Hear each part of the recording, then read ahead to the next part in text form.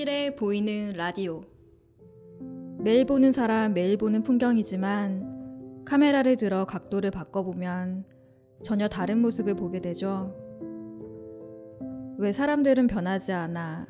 라고 말하기 전에 내가 먼저 달라져 보는 것은 어떨까요? 안녕하세요. 한길에 보이는 라디오 DJ 루나입니다. 매주 목요일에 찾아오는 한보라를 시작한 지도 벌써 3개월이 넘어가고 있네요. 얼마 전 저희 병원 직원분을 통해 환자분들께서 한보라 잘 듣고 있다는 얘기를 전해 들었는데요. 너무 기쁘더라고요. 여러분들께서 보내주신 사연이 얼마나 많은 분들께 힘이 되고 위로가 되는지 전해드리고 싶었습니다. 정말 감사드리고요. 저는 오늘도 여러분들이 보내주신 소중한 사연 잘 전달해 드리도록 하겠습니다. 그럼 한보라 12회 시작할게요.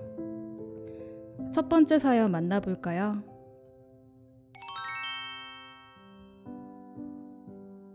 안녕하세요. 우연히 유튜브에서 한보라 영상을 보게 되었는데 제 사연도 한번 신청해보고 싶어 게시판에 사연을 올려봐요. 저희 아버지는 암은 아니셨지만 두 달 전 용종 때문에 담낭을 떼어내는 수술을 받으셨어요. 기본적인 건강검진만 받으시다가 처음으로 위내시경, 대장내시경, 복부 초음파까지 다양한 정밀검진을 받으셨는데 담낭에 용종이 발견되었습니다. 처음에는 담당 의사 선생님께서 초음파상으로 봤을 때 조직 검사를 해봐야 정확히 알겠지만 종양의 크기가 커 암일 가능성이 높다고 하셨거든요. CT상으로도 암일 가능성이 높다고 하셨고요. 저희 가족은 엄마, 아빠, 그리고 언니, 오빠, 저까지 다섯 명인데요. 막 대학생이 된 언니와 고등학생인 오빠, 그리고 저까지 학업으로 들어가는 돈이 우리 집 수입에서 가장 많은 부분을 차지합니다. 가족의 생계를 책임지시는 아빠가 갑자기 입원을 하시게 되고 또 암일 수도 있다고 하니 엄마 아빠의 걱정이 부모님의 표정으로 느껴지더라고요. 제가 고등학생이라 부모님께 금전적으로 도움이 될 수 없어 죄송한 마음도 들었습니다. 그런데 건강검진 결과를 들었던 그날 새벽, 부엌에서 울음소리를 삼키며 울고 있는 엄마의 모습을 보고 저도 방에서 펑펑 울었습니다. 하지만 다행히도 아빠는 대학병원에서 수술을 받으신 후에 조직 검사를 했는데 의사 선생님께서도 이 정도 크기면 99% 암일 거라 생각하셨다고 했는데 정말 다행히도 용종이라고 하시더라고요. 그 말을 들었을 때 저희 가족 모두 가슴을 쓸어내렸습니다. 이런 경우는 몇십 년간의 의사 생활 중에 처음 보는 케이스라고 하시면서 놀랐다고 하셨어요. 그러나 이번 수술로 끝나는 것이 아니라 담낭을 떼어냈으니 앞으로 관리도 꾸준히 하고 식습관이나 생활습관 관리를 잘 해야 다시 용종이 생기지 않고 건강하게 생활하실 수 있다고 하니 더욱 아빠의 건강 관리에 힘써보려 합니다. 또 저도 공부 열심히 해서 부모님을 기쁘게 해드리고 싶어요.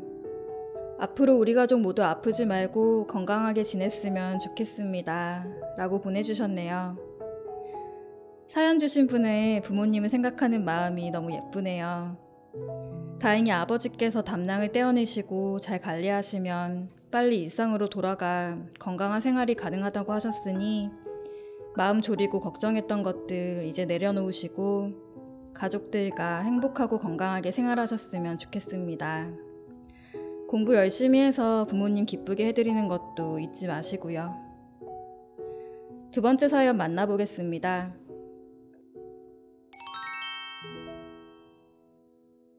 안녕하세요. 저는 조부모 가정에서 자란 조금은 평범하지 않다고 볼 수도 있는 평범한 사람입니다. 부모님의 불화로 친할머니께 맡겨진 저는 제 모든 세상이 할머니로 이루어진 사람처럼 살았어요. 아빠였다가 엄마였고, 때론 친구같이 살았던 것 같아요. 스무 살이 되었을 땐 대학을 타 지역으로 가는 바람에 4년 정도 떨어져 살다가 지금 직장은 다시 원래 살던 지역으로 돌아와 할머니와 함께 살고 있어요. 신은 감당할 수 있는 만큼의 시련만 준다고 하죠. 제게서 부모님을 가져간 걸로 저는 충분하다고 생각했었는데요. 제 세상의 전부인 할머니까지 뺏어가려고 하더라고요. 물론 언젠가 돌아가시는 게 당연하지만 이렇게 갑작스럽게 갑상선암이라는 병을 만나게 될 줄 몰랐어요. 예후가 좋은 암이라고는 하지만 나이가 있으셔서 걱정이 많이 되었습니다.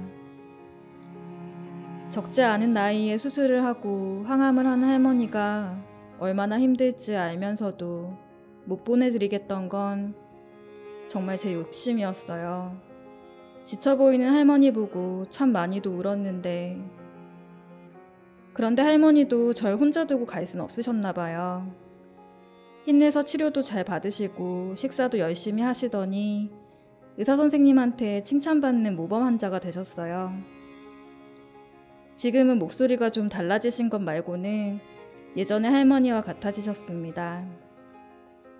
아찔하긴 했지만 어떻게 보면 기회가 생긴 것 같아요.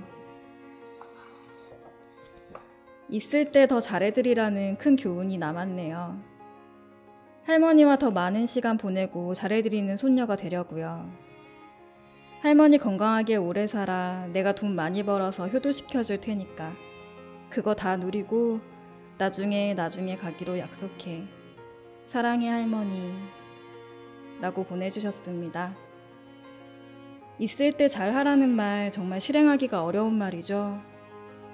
할머니의 갑작스러운 암 진단에 많이 놀라셨을 것 같아요. 하지만 할머니께서 치료 잘 받으셔서 예전과 같은 모습으로 건강을 많이 되찾으셨으니까 앞으로 정말 잘 해드릴 일만 남았네요. 다시 후회하는 일이 없도록 할머니와 좋은 시간, 행복한 시간 많이 보내시고 꼭 효도도 하시길 바랄게요. 한불어를 통하여 사랑하는 사람에게 메시지를 전달하고 싶으신 분은 아래 한길한방병원 홈페이지 주소로 들어가신 후 한길의 체험하다 카테고리에 라디오 사연 게시판에 많은 사연 올려주시기 바랍니다. 익명으로도 가능하니까요. 여러분들의 많은 참여 부탁드립니다. 그럼 저 DJ 루나는 한보라 13회로 찾아뵐게요.